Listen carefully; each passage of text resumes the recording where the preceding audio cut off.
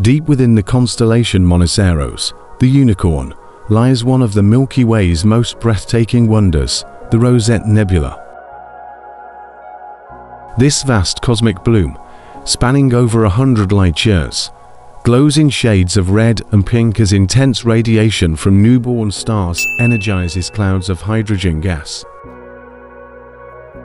At its heart lies the star cluster NGC 2244, a nursery of young, massive stars born from the very dust they now illuminate.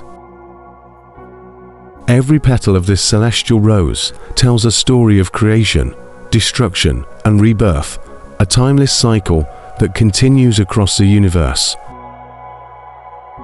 The Rosette Nebula isn't just a sight. It's a symbol of cosmic beauty written in the language of starlight.